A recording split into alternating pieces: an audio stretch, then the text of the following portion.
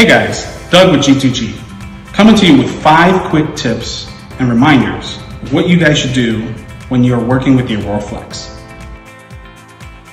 First, when you're cutting the Aurora Flex, make sure you're cutting on the cut increment.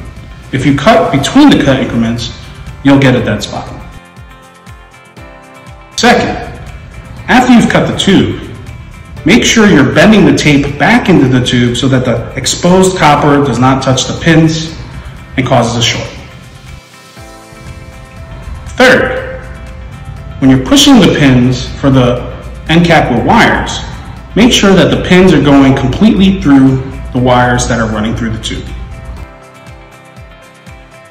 Fourth, make sure when you're pushing silicone into the boots that it is filling up completely and silicone is oozing out of every point. Fifth, if you are using a side bend product, make sure you don't bend it on its back. And if you're using a back bend product, make sure you aren't bending it on its side.